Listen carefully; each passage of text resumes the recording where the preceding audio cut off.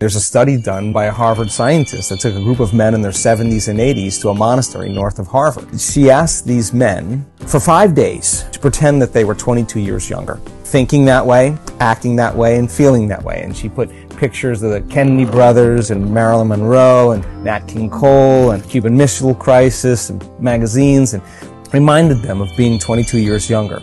At the beginning of the study, she measured all these objective measurements and they cut him loose for five days. The researchers said at the end of five days, she was playing touch football with these men without their canes. She brought them back into the lab and she took all those objective measurements again. Finger lengths were longer, toe lengths were longer, some of them were taller. Their cognition improved by 60%, their range of motion changed.